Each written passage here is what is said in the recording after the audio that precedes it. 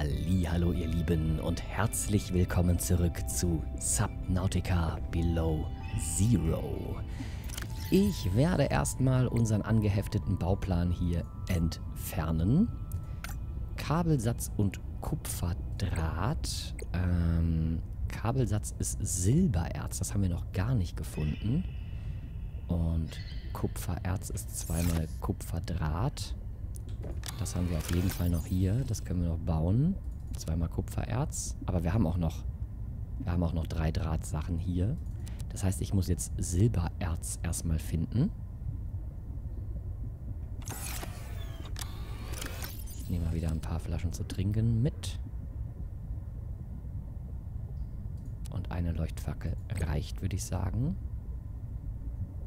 Wir müssen Silbererz finden. Alles klar. Damit wir uns den Kompass herstellen können. Und mehr haben wir noch nicht. Das heißt, wir müssen jetzt ein paar Baupläne finden.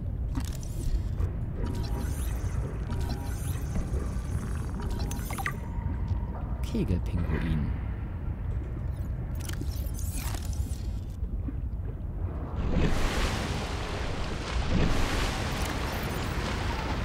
Kegelpinguin.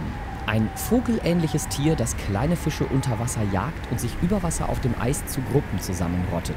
Frisst kleine Beutefische und wirkt sie, für, wirkt sie für seine Küken wieder hoch. Schwanz und Klauen können eingezogen werden für schnelles Ausweichen vor Räubern und starker Halt auf dem Eis. Scharfe Zähne, die im Schnabel verborgen sind, können Angreifer und Beute gleichermaßen zerstückeln. Rottet sich zum Schutz vor Kälte an Land zu Gruppen zusammen. Beurteilung, Beurteilung weniger niedlich, als sie aussehen. Uh. Gar nicht mal so cool. So, hier haben wir Wendelalraunen. Wendelalraunen wachsen in Korallenriffen mit gemäßigter Temperatur. Ihr belaubter Schirm fängt Sonnenlicht auf und spendet der darunter liegenden Knolle Schatten. Mhm. Und den Ringelpilz können wir endlich erforschen. Ringelpilze sind erntbare Pilze, die in der Nähe von Korallenbrücken wachsen. Die Pilze zeichnen sich durch dicke, fleischige Kappen aus. Diese Kappen produzieren eine kleine Menge Chlorophyll, wodurch sie zu einer gewissen Photosynthese fähig sind. Sie beziehen jedoch den größten Teil ihrer Nährstoffe immer noch aus toten Stoffen im Meeresboden. Beurteilungen können angepflanzt und geerntet werden. Ich muss Luft holen, ich muss Luft holen, ich muss Luft holen. Scheiße. Seht ihr? Genau das passiert, wenn man nicht aufpasst. Niemals Dinge unter Wasser lesen, ich Trottel. Oh. Hui, hui, hui, Ob Ringelpilze mit dem Ringelpiez verwandt sind. Ich fürchte nicht, Cthulhu's Erbe. oh Mann, war das knapp. Seht ihr, dann wäre es jetzt schon wieder vorbei gewesen. Tafelkoralle. Ich scanne jetzt erstmal ein bisschen und lese dann. Ich fürchte, das ist die bessere Variante. Lese dann, wenn ich wieder in der Kapsel bin. Sonst sterbe ich hier nämlich qualvoll. Was bist denn du? Schuppige Zungenanemone. Süß. Und Lunablatt. Äh, nein. Weiter bitte scannen.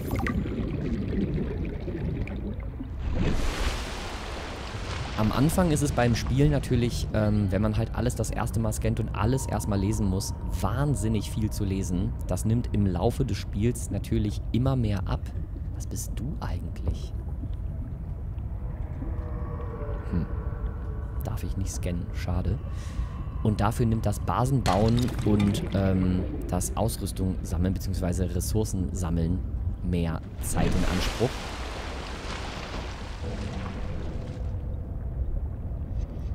Aber ich freue mich halt auch drauf, diese ganze Umgebung hier zu, äh, zu... Oh, das hier darf ich scannen. Korallenbrücke.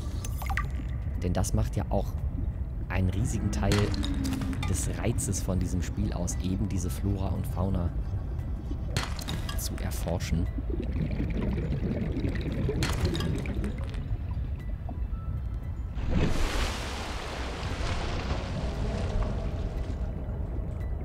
Oh, was haben wir denn hier? Das ist nichts. Schade. Ich dachte, das wäre ein Technikteil oder so.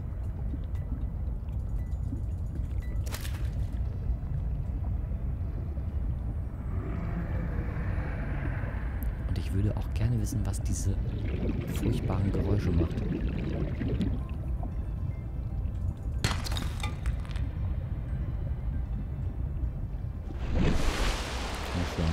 Gehen? Oh ne, sieht nicht so aus. Kann diese Schollen betreten.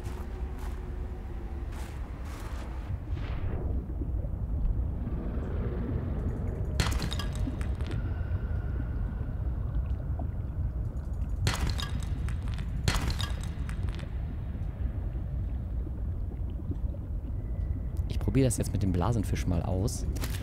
Dass ich den unter Wasser einfach mal trinke.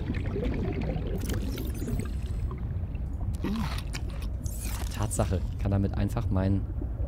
Das ist sehr, sehr... Oh ja, hier von den Dingern brauche ich noch welche. Sehr gut. Oh, schön Pfeilchen. Können wir noch scannen.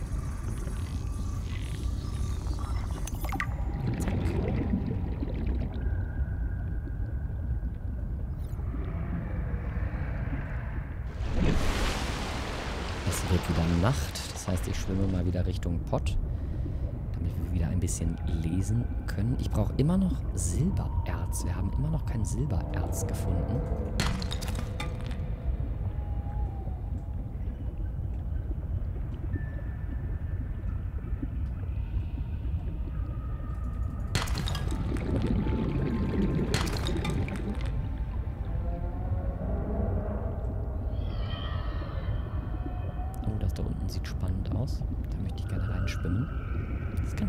Schon.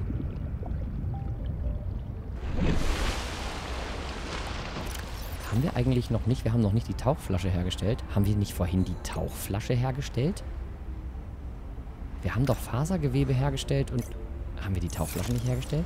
Ich kann immer noch nur 45 äh, Sekunden unter Wasser bleiben.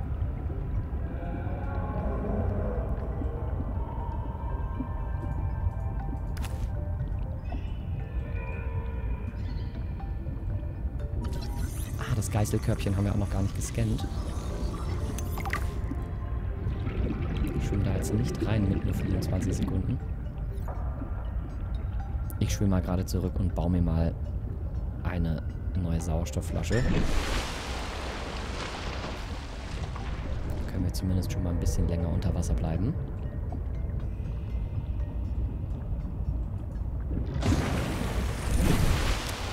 So, ich brauche einmal Fasergewebe. Und dann stelle ich mir die Standard-Tauchflasche her. Adding additional blueprints to your databank. Oh, mehr Blueprints. The standard oxygen tank can be upgraded for deluxe and VIP breathing. Lux and VIP breathing. So geil. Alles klar, Heaven's Ground. Das ist völlig in Ordnung, nur halb anwesend zu sein hier. Ich bin auch oft nur halb anwesend. so. Gucke ich mal wieder in PDA. Schwefelkristall und Silikongummi brauchen wir noch. Und wir brauchen immer noch Kupferdraht und Kabelsatz. Und für den Kabelsatz brauchen wir noch Silbererz. So, mehr haben wir nicht dazu bekommen. Gut. Wir haben gefunden das Geißelkörbchen. Geißelkörbchen enthalten hochkonzentrierte Schwefelsäure und können zur Verwendung bei der Batterieherstellung geerntet werden. Die Schwefelsäure ist ein evolutionärer entwickelter Abwehrmechanismus, um Tiere davon abzuhalten, die Blätter des Geißelkörbchens zu fressen. Bei der Ernte der Pflanze darf der Kern nicht beschädigt werden, um eine exotherme chemische Reaktion zu vermeiden. Korallenbrücke, diese riesigen Dinger. Korallenbrücken bilden sich durch schnell wachsende Korallentypen Korallenpolypen, die Tigmotropismus aufweisen. Sie wachsen also als Reaktion auf Impulse oder wenn sie ein festes Objekt berühren. Korallenbrücken entwickeln sich in dicken, gewundenen Gebilden, die sich auf Felsen oder anderen Korallen festsetzen. Die Unterseite ist mit Kolonien von Blaupocken übersät. Das Luna-Blatt wächst im flachen Wasser. Zweige wachsen aus dem Hauptstamm heraus und bilden unregelmäßige rudimentäre Kammern. Wenn ein Zweig abstirbt oder zerstört wird, nutzen die Kammern des anderen Zweigs die zurückgelassenen Nährstoffe. Schließlich nimmt eine neue Kammer den leer gewordenen Platz ein. Die Purpurranken. Diese grasähnlichen Pflanzen wachsen in kleinen Büscheln in der Nähe von Korallenbrücken. Den Ringelpilz haben wir schon. Haben wir den schon gelesen? Ja, haben wir schon gelesen. Schönfeilchen. Eine gewöhnliche leuchtende Pflanze, die gruppenweise auf dem Meeresboden wächst. Schuppige Zungenanemone. Die schuppige Zungenanemone bevorzugt seichte Gewässer und reichlich Sonnenlicht. Sie steht in einer symbiotischen Beziehung mit einer Gattung Leuchtalgen, die auf der Oberseite des Stamms der Anemone leben. Diese Algen gedeihen in der Sonne und erzeugen eine dünne, schuppige Bakterienmatte um den Körper der Anemone, während sie sich von anderen Mikroorganismen ernährt, die im Anemone umgebenden Wasser gedeihen. Und die Tafelkoralle eine Art Steinkoralle, die häufig an Felsvorsprüngen wächst. Steinkorallen haben gehärtete Außenskelette aus Bioverbundstoffen. Die Polypen der Korallen wachsen kontinuierlich in dünnen Schichten nach oben und außen und erzeugen so das Erscheinungsbild einer gerillten Tafel. Die Wendelalraune haben wir schon gelesen. Aber wir haben auch noch Luftpumpen im Repertoire jetzt. Luftpumpen können verwendet werden, um entfernte Standorte mit Atemluft zu versorgen. Die basisbefestigte Luftpumpe kann an einer geeigneten Basis angebracht werden und bezieht Sauerstoff direkt vom Sauerstoffgenerator der Basis. Die schwimmende Luftpumpe benötigt Zugang zu atembarer Luft und schwimmt an der Wasseroberfläche. Pumpen funktionieren nur, wenn sie mit einem Leitungssystem verbunden sind. Die haben wir auch im ersten Teil nie gebraucht und ich fürchte, das werden wir auch dieses Mal nicht.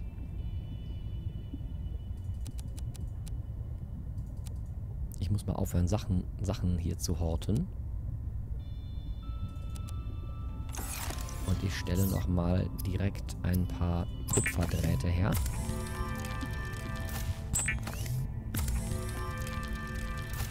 Aber ein bisschen Kupfererz will ich trotzdem auch behalten. Eins habe ich behalten, Wahnsinn. So. Ja, jetzt mülle ich mir nämlich selber hier. Passt mal auf, wir machen mal folgendes. Ich nehme mal hier 1, 2, 3, 4, 5, 6 mal Titan und stelle mal ein paar wasserdichte Kisten her. Die können wir nämlich draußen floaten lassen. Und da können wir Dinge reinpacken. Also 5 und Klick. Wieso kann ich jetzt gerade keine mehr herstellen? Hä? Ich habe doch viermal Titan. Ich brauche nur... Ah, nee, ich brauche vier Titan. Okay. 1, 2, 3, 4. 1, 2, 3, 4. So, dann stelle ich noch zwei von den Dingern her.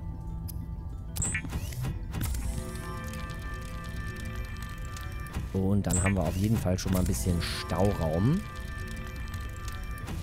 den ich füllen kann. Nehme ich mal das ganze Titan hier raus und auch das Kupfer und das Blei und ja. Genau. Äh, wo ist die Tür? ich finde die Tür nicht mehr. So. So. Schwupp. Und schwupp. Hier kommt das Titan rein. Können wir auch direkt noch benennen. Oh Mann, du sollst den Namen bearbeiten. Geht doch. Titan. So, Kupfer, Blei, das Ding packen wir da auch noch rein. Und zwei von den Dingern auch noch. Eins können wir direkt mal wieder trinken.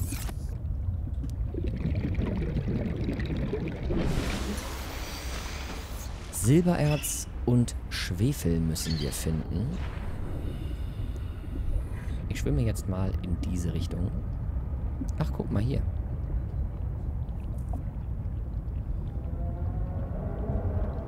Und ohne was in der Hand schwimmen wir schneller. Und jetzt können wir endlich ein bisschen länger unter Wasser bleiben.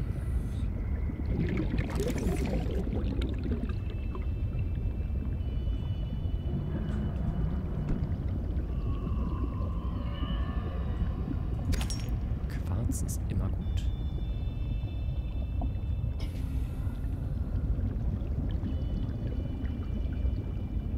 Wir sind wieder im Tangwald. Vielleicht muss ich... Oh, guck mal, was ist das denn? Vielleicht muss ich manche Sachen auch an Land suchen. Wir waren bisher fast nur im Wasser. Wow. Das sieht interessant aus.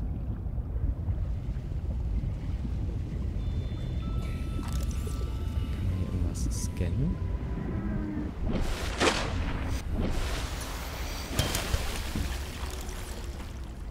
Schreibtisch kann ich scannen. Super. kann ich mir schon mal Fragment eines Mineraldetektors.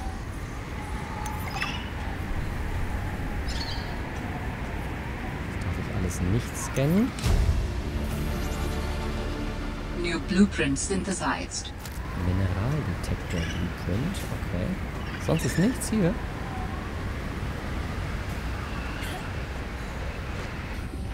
Na gut. Dann glaube ich euch das mal. Ich schwimme mal hier dran runter. Vielleicht finden wir weiter unten, wie es auch im ersten Teil war, weiter unten. Andere Ablagerungen. Oh, da unten war noch was auch. Und wir finden Schwefel. Oder Silber. Oh, Medipacks, Medipacks sind immer gut. Fragment einer Signalboje.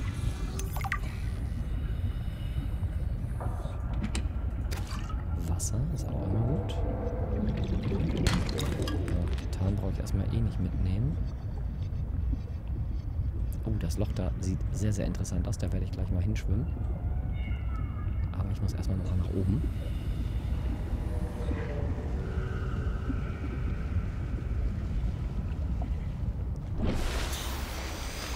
Das ist schon ziemlich tief hier, ne?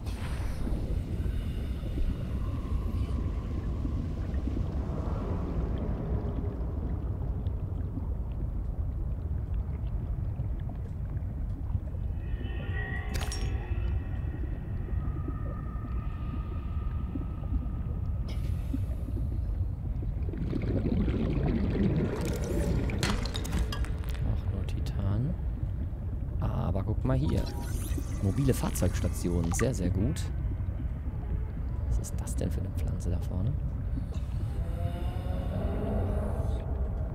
Was bist denn du? Luftblüte? Tauchflasche auffüllen? Ja, wie geil. Luftblüte direkt noch scannen hier. Das ist ja cool.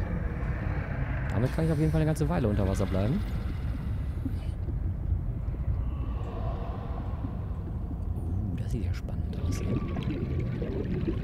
Ich habe ein PDA gefunden. Seekoboldnest. Erstmal muss ich hier wieder raus. Aber hier werde ich definitiv noch weiter reinschwimmen.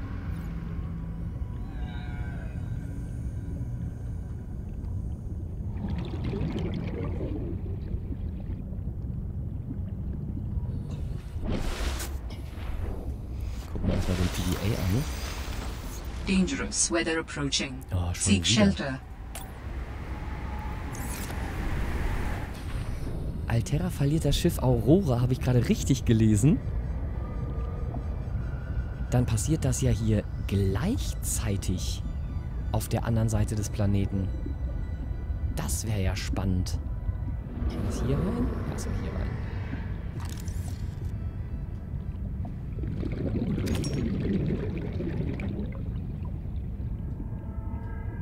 Seekoboldnest.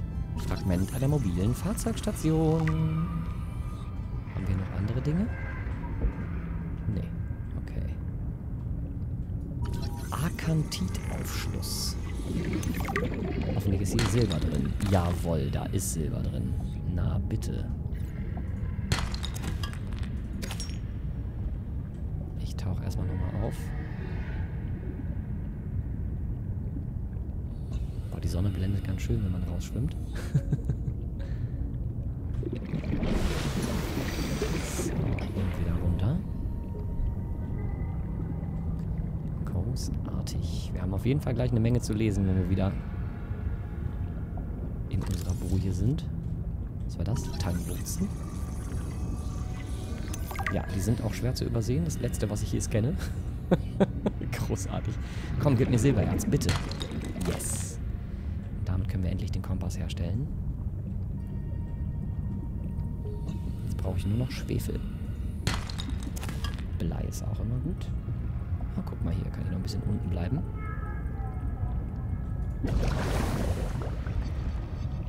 Oh, schaut mal. Seegleiter, yes. Den würde ich am liebsten. Eins von drei. Oh, Kupfer nehme ich mal mit. Drei Stück brauchen wir davon. Das ist natürlich scheiße.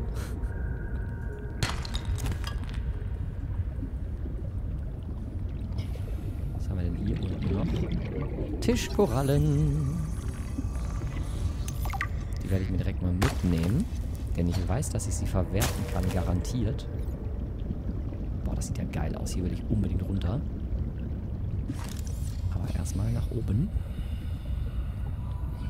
Gute Nacht, Wolfi. Schlaf gut.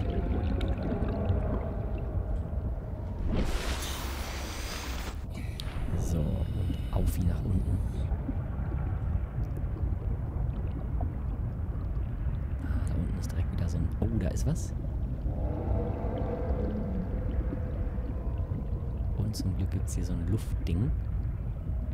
Das ist gut. Mobile Fahrzeugstation. Seebahn. Noch ein PDA. Noch zwei PDAs. Sehr gut. Da unten sind noch mehr Tischkorallen. Was das da ist, weiß ich auch noch nicht. Das kenne ich auch mal direkt nach. Halbmondkoralle. Mhm.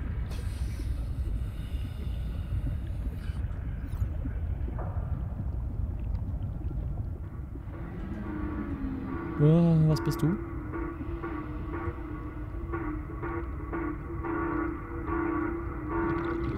Was zur Hölle ist das denn? That sounds like a distress call. Transmission of unknown origin. Source of transmission depth calculated at approximately 200 meters. Ja, 200 Meter. Da werde ich garantiert nicht hinschwimmen. Denn genau dabei bin ich im ersten Durchgang gestorben. Als ich zum Signal runter wollte. Boah, das sieht ja mega krass aus. Oh, fuck, ist das gruselig. Scheiße. Ihr denn? Ihr diese Eisding? Oh oh, und was bist du? Dich will ich aber scannen, du siehst cool aus. Blaurochen. Ich hoffe, der ist nicht gefährlich.